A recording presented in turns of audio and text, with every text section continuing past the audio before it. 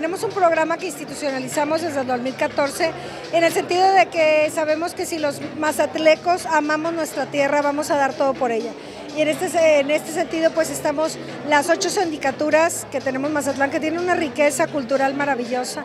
Eh, vamos a, como desde el 2014, estamos haciendo el recorrido a todas ellas para que nos muestren su gastronomía, su artesanía, la parte folclórica que tienen ahí.